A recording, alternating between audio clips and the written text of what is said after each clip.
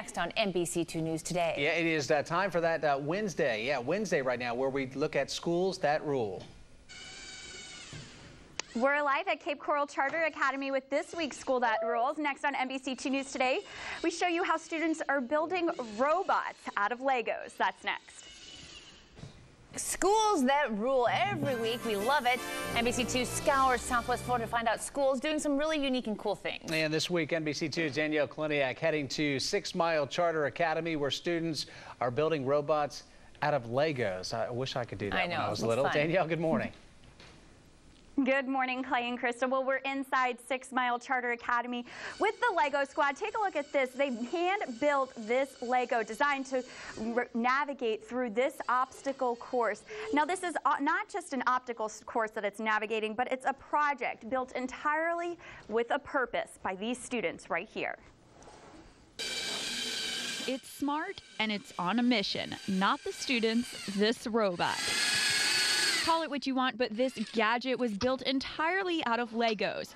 Its creators, the Lego Squad. The team is in the top 30% in the state. They compete in events throughout the year. That's the base. The 10 members, ages 9 to 14, work day in and day out programming the robot so that it can go through this course. We've actually been able to work together and figure out how to bring ideas and make something amazing. The robot is built with a purpose to navigate a course called Senior Solutions, designed to improve the quality of life for seniors living with arthritis. Taking on real life tasks like gardening, quilting, turning off the TV, and yes, even bowling. The obstacle course isn't the only team's challenge. It's not cut by cut directions. It's what can we do to fix our problems? What can we do to make this robot a little bit better? It's working together to build and make the robot move. A move that, when achieved, brings along a well earned pride. Just being able to think, um, I did this. Or Elisa and Angela. So we have to use buttons to switch between our programs. And if you think your school rules, we want to know about it. Send me an email at danielle.kaliniak at nbc-2.com and your school could be featured like Six Mile Charter Academy. All right, guys, now we'll take a look at this. The Lego Nader is what they called it, right? It's going to get ready to go bowling. Let's see it go.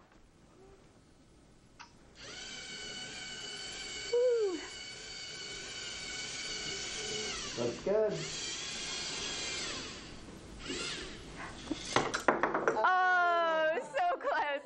We're live in Lee County this morning. Danielle Kaliniak, NBC2. Don't worry, That's that right. he bowls kind of like I do. I was going to say, Krista, Krista throws many gutter balls in her bowling. yeah, but, uh, very often. Good morning, Six Mile Yeah. Charter Academy. Thanks for being our school that And rules. they That's travel cool. all over the state Right, competing, competing too. in It's a really cool group. That's yeah. awesome, yeah. Well, time now.